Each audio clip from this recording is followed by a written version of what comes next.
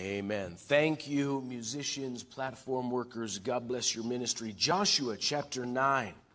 If you'll turn there to Joshua chapter 9. I want to tell you a story this evening. Before I tell it, the story is my introduction, but my introduction needs an introduction. This story is true. Every fact I'm about to tell you is absolutely true. These are facts.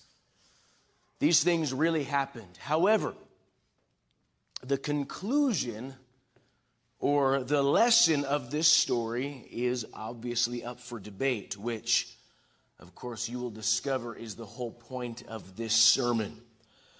Star Trek is, or was anyway, the most popular TV show of a couple of generations. There was the original Star Trek uh, of my parents' generation, uh, which, uh, you know, it's technically it was sci-fi. If you watch it now, it's comedy. Uh, but then, but then, there was Star Trek: The Next Generation, Star Trek TNG. How many of you were Star Trek fans? You nerds. It's all right. From 1987 up to 1994, Star Trek The Next Generation was just an absolute smash hit. So 1995, there was now a new one, Star Trek Voyager. The first season was just okay. Ratings were just okay. Season two bombed. It was so bad uh, that they were going to cancel it. Now, this is a show that's been on air now for uh, decades, and they're getting ready to cancel it because it's doing so bad. Here's what happened it was so bad that all the Trekkies, listen, you know you're a nerd. Not you, I'm not, know. When you're such a big fan of a TV show that they've actually got a name for you. The show was so bad that all of the Trekkies began to write letters to the producers saying, essentially, this show stinks. And they created such a fuss that the producers were in a panic. What are we going to do? They hate the show. Well, this is television. And so they tried the age old trick. What you need to do is get an attractive woman, add some sex appeal. So they added a new character, Seven of Nine, played by Jeri Ryan. And of course, you know, it's just Star Trek. There's no plot. Right? I mean, if you ever watched it, it's, it's just Star Trek. But this new character was an absolute smash hit. Season three went on to break records and they went on for several successful seasons. But there was a problem with this. Is that this actress that they picked, Jeri Ryan, was married. Star Trek began to be very successful. The work hours were grueling, and so her home life began to suffer. Her marriage began to fall apart because of the success of the TV show. Eventually, they got divorced. Her and her husband, Jack Ryan, were divorced, but what's interesting is the divorce proceedings were sealed. No one knew why they got divorced. This wouldn't have been an issue, but Jack Ryan decided to get into politics. He ran for Senate in 2004. He was an ideal Republican candidate, good education, wealthy, successful. He looked like a Republican boss, and he was winning. He won the Republican primary. His Democratic opponent was young, inexperienced, and looked like it was going to be an easy win for Jack Ryan. However, you know, when you're a politician, people dig up dirt. And so they dug up the dirt and they said his divorce proceedings were sealed. And so they filed a motion you need to open that up. If you're going to run for office, we want to know why he was divorced from the Star Trek actress. So they did, and the details that came out were uh, salacious and repugnant, so bad that he immediately quit the race. Now, this was right before the election. The Republicans could not find a substitute for him and so his opponent won in an overwhelming landslide. The guy he was running against that won in a landslide was none other than Barack Obama. First time senator. And he won so conclusively that right after the election, Democratic bosses said, You need to tap him for president, he'll win. And so this is the story of how some Star Trek nerds accidentally elected a U.S. president.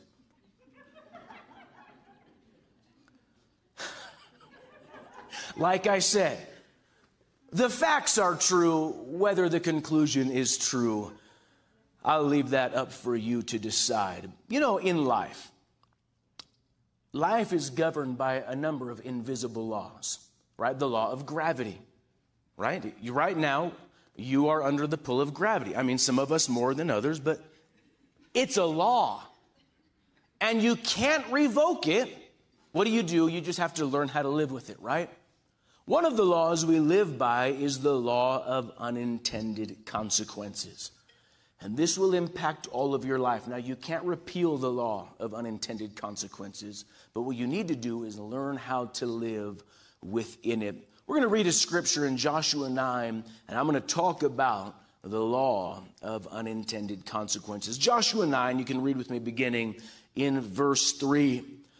When the inhabitants of Gibeon heard what Joshua had done to Jericho and Ai, they were craftily, went, pretended to be ambassadors, took old sacks on their donkeys, old wineskins torn and mended, old sandals on their feet, old garments on themselves. All the bread was dry and moldy. And they went to Joshua at the camp and said to him, we have come from a far country, now therefore make a covenant with us. Now that wasn't true, that was a lie. They lived right there. Verse 7 the men of Israel uh, said to them, Perhaps you dwell among us. How could we make a covenant with you? But they said, No, we are your servants. Joshua said, Where are you from? And they said, We're from way over there. That's how y'all been talking to me the last eight years. I'll say, Where are you from? Oh, a long ways away. That's not what I said. Where are you from? You wouldn't know where it is.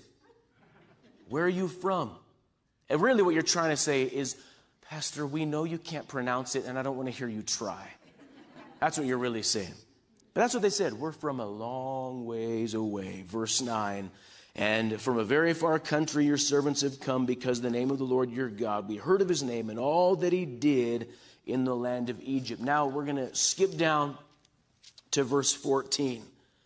Then the men of Israel took some of their provisions, but they did not ask counsel of the Lord. So Joshua made peace with them and made a covenant with them to let them live, and the rulers of the congregation swore to them the law of unintended consequences. Let's talk first about rash decisions. Now, our scripture is about a decision that is made rashly. The word rash means proceeding from a lack of careful consideration.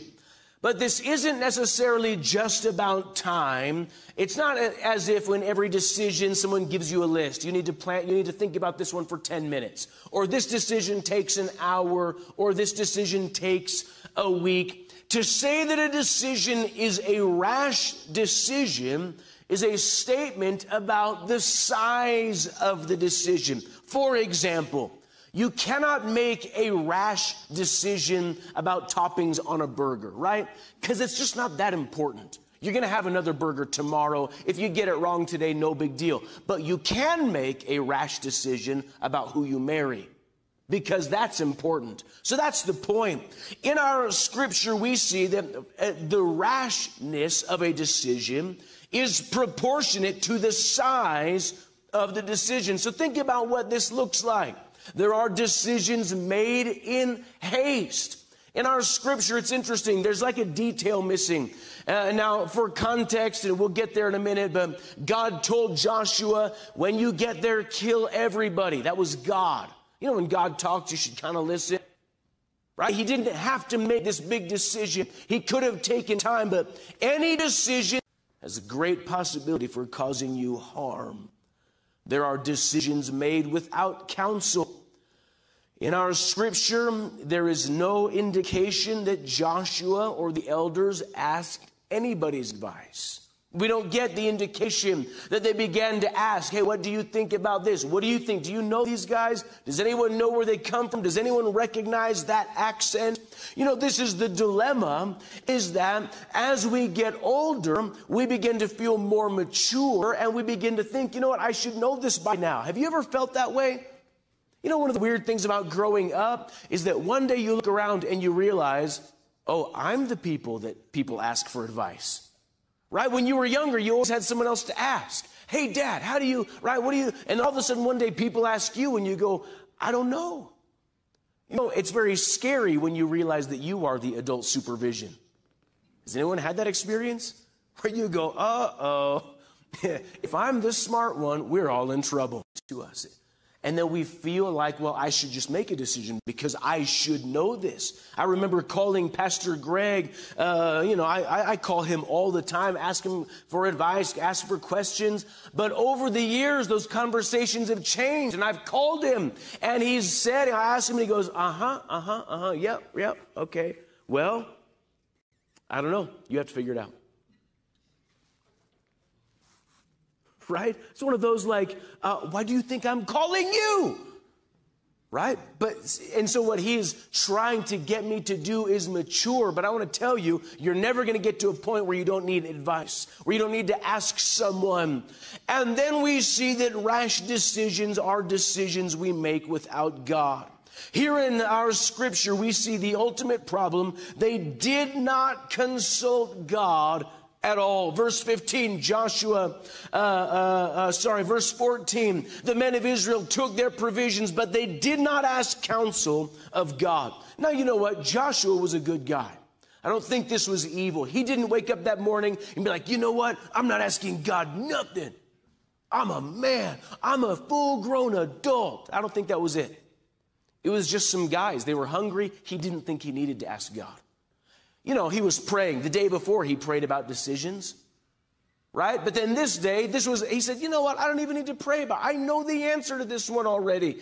And so here is where we get in trouble, is when we begin making decisions without ever talking to God about it. So think about what kinds of decisions these are in our lives. It can be things that we make allowance for. In our scripture, they made an allowance. They said, you know what, that's okay. I will permit that in my home. I will permit that in my life or in my children or in my heart. This was a foolish decision, but it's something they made allowance for. It can be maybe things you emphasize. You know, when I was a disciple, Pastor Greg told me you need to celebrate what matters to you because if you emphasize something, then that will get in your disciples. But you know, sometimes you can do that wrong, right?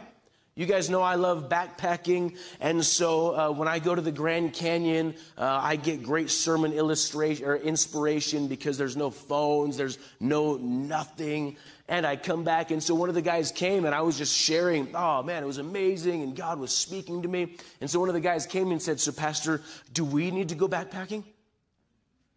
Why? Well, because that's where you get sermon inspiration from. No, bro. It, I realized I was overemphasizing something. I was making too big of a deal out of it. But we can all do that. We can emphasize or prioritize the wrong things. Maybe we can de emphasize things. You know, a lot of times as Christians, we put things to the side or we de emphasize things that matter. So let's think then about the law of unintended consequences. Here is the dilemma when we make rash decisions, they usually feel so insignificant. Now, I'm going to ask you for a moment to be honest. I know that's, that's painful sometimes, but has anyone here ever made a bad decision? Has that ever happened? Most of you being honest, that's good. The rest of you get saved for heaven's sake. But I'll bet if you think back to those bad decisions or any of them, they didn't seem like that big of a deal, did they? It was like, yeah, whatever. I'll go over here. I'll take that. I'll, I'll eat this from a questionable food vendor. It didn't seem like a big deal at the time, right?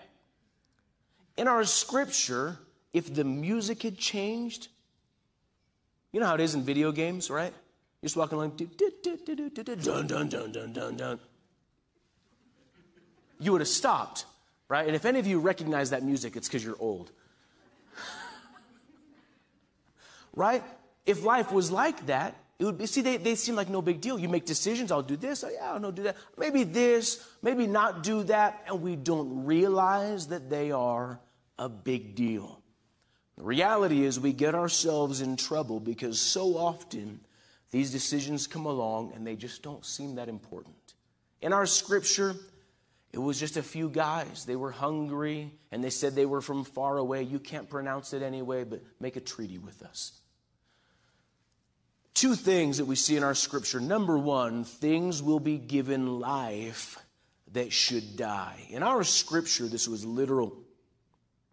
God had commanded them to kill the Gibeonites. Joshua 9 24, the Gibeonites said, We were clearly told that your God commanded his servant Moses to give you the land and destroy all of the inhabitants. It's not just that God had told Moses and that God had told Joshua, it's that everybody knew it. It was clearly commanded that these things should not live. And I want to tell you, sometimes the unintended consequences of our decisions are that things live that ought to die.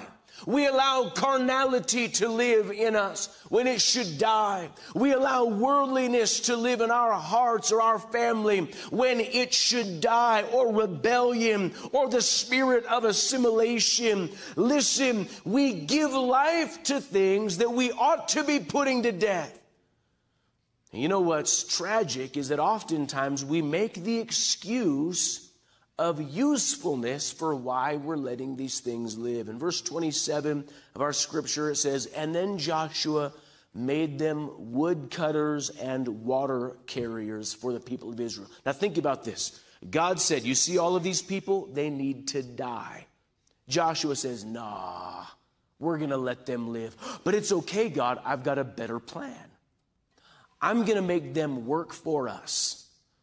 I want to tell you, as a pastor, this is what I see very often in people's hearts. I'll challenge people this should die, right? You need to kill this. Oh, but Pastor, I've got a great idea, right? I've got this great new plan. I know, I know that you think, but what if, you know? This morning we were talking about the people that want to evangelize in bars. Come on now. You're just trying to make a wood carrier out of something that ought to be dead. Amen, Pastor Heimberg. Thank you. Years ago, our fellowship leadership made a decision. We are, as pastors, we are not going to be involved in, we're not going to support, and we are going to speak against social media. But I'm going to tell you why we did that. Because un, one of the unfortunate parts of our job is that we have to zip up all the body bags. Every time someone's life is destroyed by pornography, every time someone's marriage is ripped apart by an old connection that popped up because of their social media, we are the ones that have to clean it up and console the grieving. So we made up our minds, but the problem is, is you tell that to people and they're like, oh, pastor, you're so old fashioned. Listen, I use my Insta to witness. And you're doing one of these things. You've got a Bible. You're like, hashtag blessed People will come to church, Pastor. Kill it. Kill it. No, Pastor, you don't understand. Every 18 seconds on TikTok, someone's meeting Jesus. No, no, no. Kill it. No, but it's a great water carrier and a woodcutter, which is exactly what Joshua did. And for 500 years, the people of Israel paid the consequences. So we give life to things that ought to die.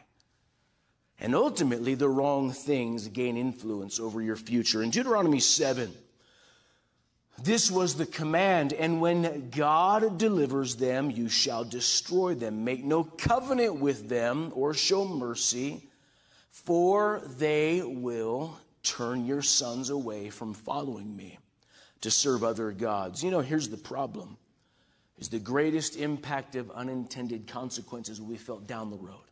It's not going to be felt in your life or in your generation. It will be something that is experienced long down the road. These minor allowances can alter the course of a future in our scripture, all he did was be nice to some hungry travelers. And for 500 years, the Gibeonites were uh, a ball and chain to the children of Israel. They were a hindrance at every step, all the way into 2 Samuel 21. As David is king, Saul was king. He had done wrong, and now there's a famine for three years. And David cries out, Why? And God says, Because of the Gibeonites. Now they have changed the course of the nation's future because they were unwilling to put them to death. This is why little things matter so much because it's impossible to see the effects of these decisions a generation or two generations down the road. So let's talk finally about mitigating unintended consequences. Now, the difficulty of this law, as I said in the beginning, is you can't revoke it. Wouldn't it be great if we could just vote all in favor of revoking the law of unintended consequences? Say aye. Aye, right? Uh, it's not possible. It's one of those things we are absolutely going to live with. The purpose of this sermon is not that we can eliminate it, but my point is to get you to think about it.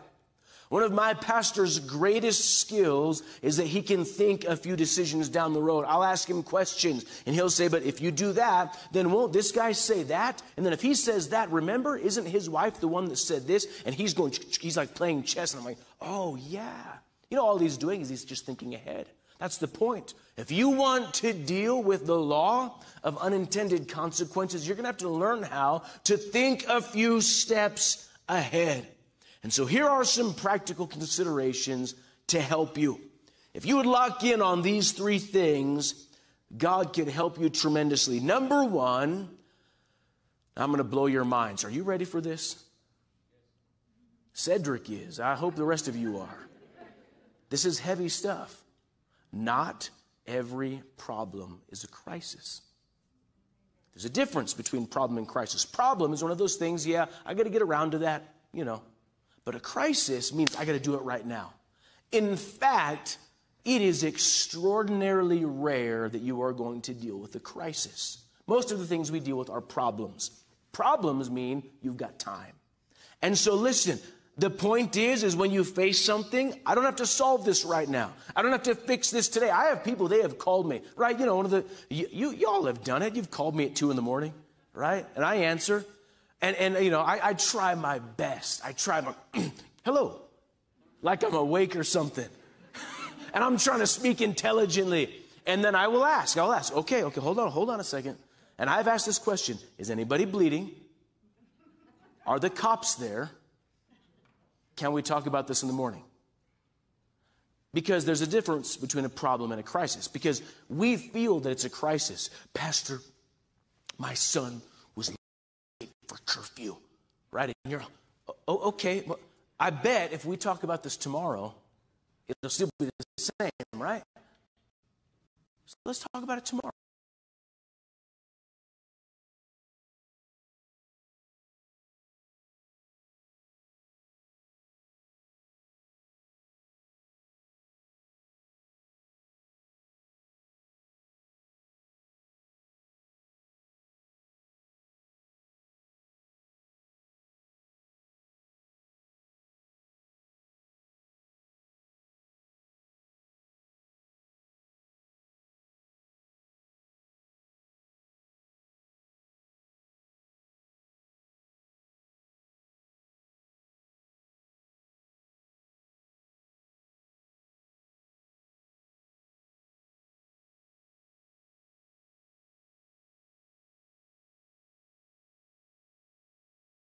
I don't have to be make, uh, making them right now.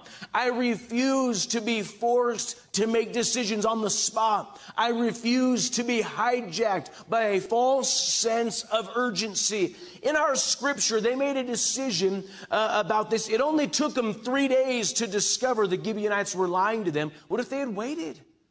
If they had just held on for a couple of days, tell you whatever that decision is that you are wrestling with right now, you got time. You, you've got a day or two, you've got a week. You can pray about this, you can ask. So listen, not every problem is a crisis. Number two, not every opportunity is a blessing. In our scripture, that's what they said. All they did was read the packaging, right? Amazing. Did you see? They will be water carriers and woodcutters. Oh, what a great deal. All they read was the ad copy on the label. They didn't look beneath the surface. Listen, not every opportunity is a blessing.